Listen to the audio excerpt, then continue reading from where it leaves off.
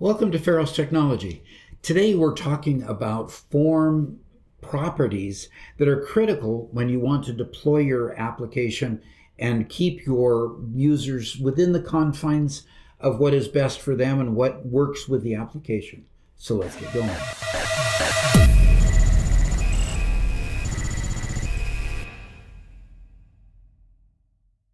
You'll notice that I have several forms here, and the one that I want to look at today is this form contacts. And, and, you can tell it's kind of a simple form. It's, you know, it has the record control over here, has the min, max, and close button up here, has your regular context menu up in the upper corner. The form name is up here. It, you know, very basic. All that's really been done with this form is to put the fields on it and connect it to a control source uh, in the back end so that the data could be put into the form.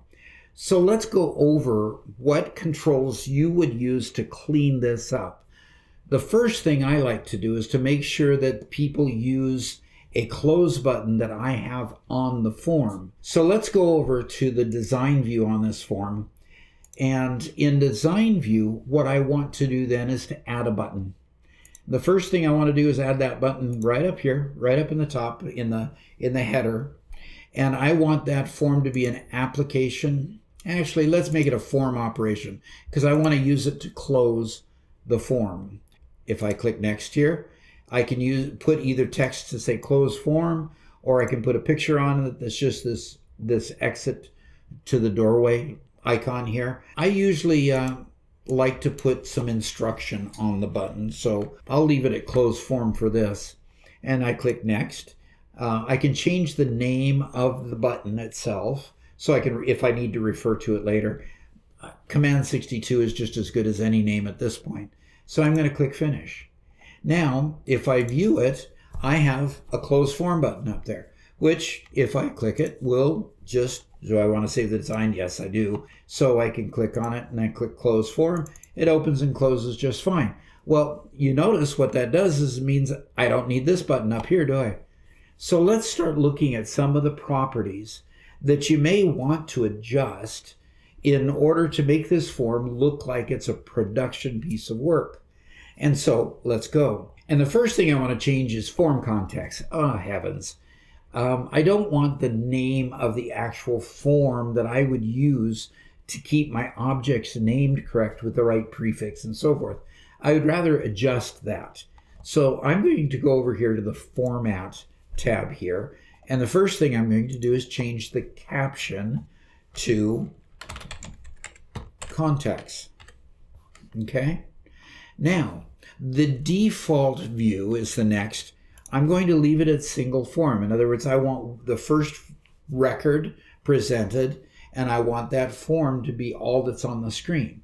Then I can say, do I want to allow form view or allow datasheet view or allow layout view? For one, I don't want my users really to get into layout view because up here, what it does is it gives them this option on the on the ribbon unless I take it off of the ribbon, which I could also do. But I don't like layout view. I don't like to accidentally click it myself because I just I just don't feel that's useful. That's a personal preference. So I'm going to go ahead and just say, no, let's not let them uh, use layout view. Okay. Now, picture type means that I could put a picture in the background here. Instead of just a color, I could put a picture.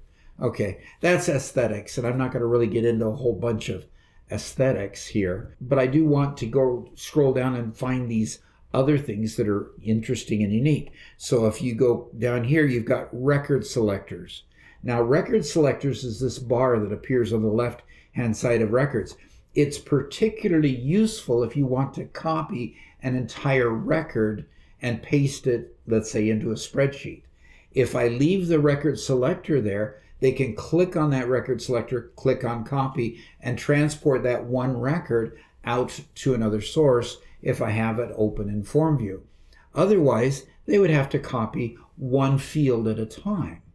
So I think record selectors are useful as long as you train your users to actually use it correctly. So I'm going to go ahead and leave uh, the record selectors on the screen. So I'll leave that at yes.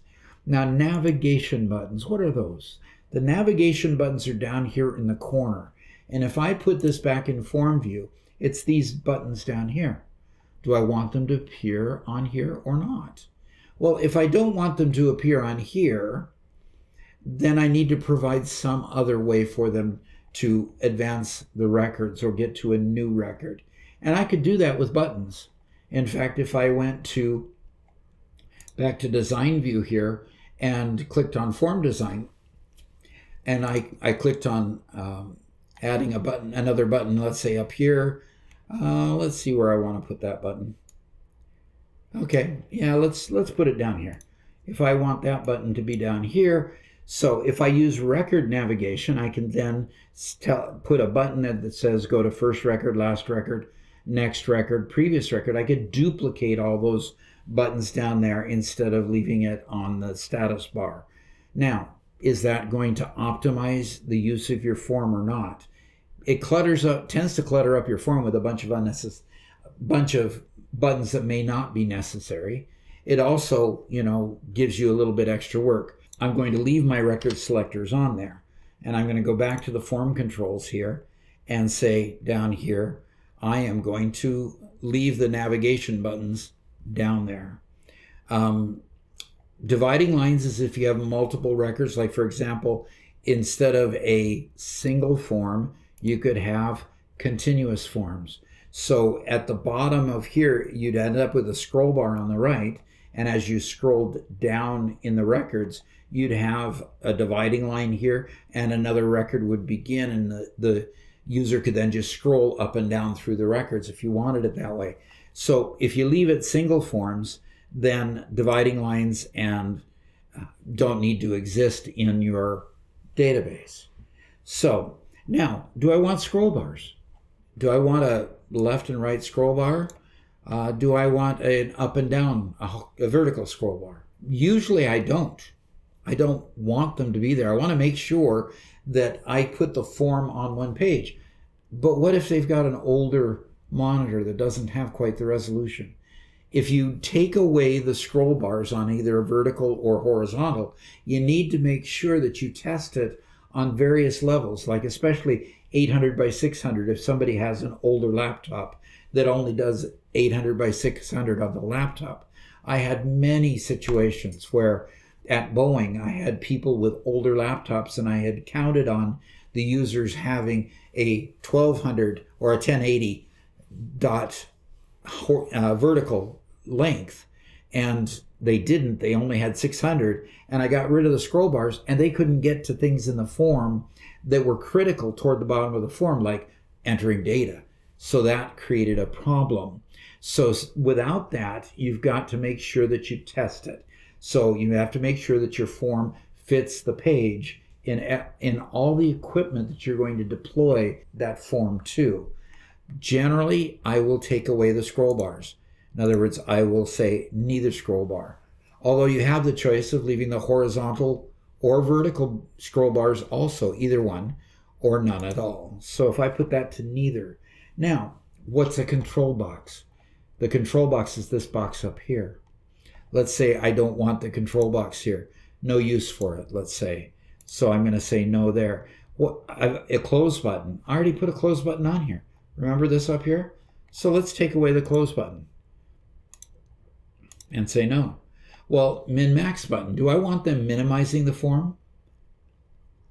Maybe not. So let's say I don't want them to close, minimize, or maximize the form. So let's just say none, okay? And that pretty much takes you through the tour of the critical ones. So let's see the changes that we've made. No, no min, max, or X, or close button up here. No control button over here. It is a form called contacts. Uh, it still has the record selector, and I left the navigation buttons down here. There's also a search button down here. And so my form ends up cleaner at this point than what it did before. Okay, so if I wanted my form to look a little bit fancier, I could come here to any of the labels, for example, and I could come down to a thing called special formatting, special effect. And I don't like it just being flat. I mean, it just looks like the words there and that's it. So I can say, let's make it raised. Um, so that special effect has several things here. I could make it raised and it looks like this. And so it just gives it a little bit of definition. And I could do that with each of the of the labels, for example. And then I could go to a a field control here, where a text box control here, and I could tell it to have a border line. And so the border uh, the border style is solid hairline. And let's instead of making it a hairline, let's let's make it a little bolder, make it two points.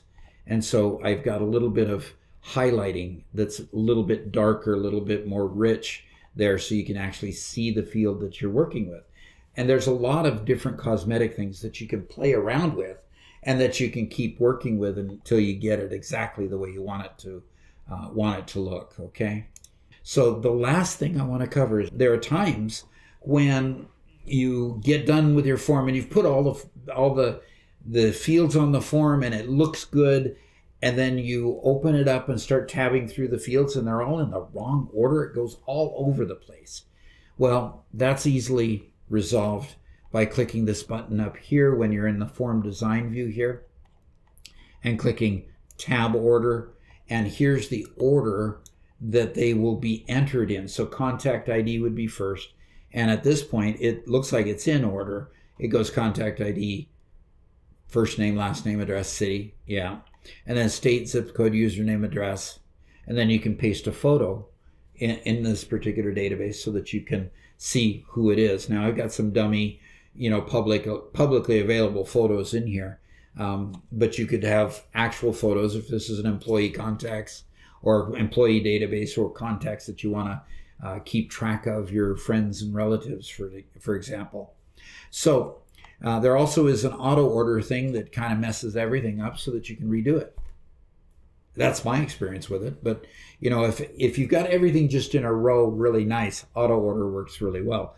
But realistically, if it's like this, it's going to start putting it going back and forth side to side and probably won't give you what you want.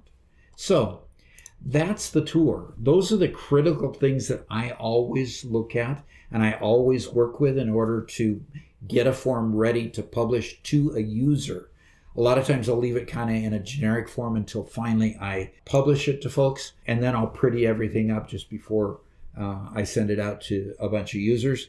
Uh, but this is the the grand tour. These are the most important things that you need to consider when putting and publishing a form. So if you like what you see, please hit that like button, help me get it out to folks, and uh, we'll look forward to seeing you again in the channel later. Thanks.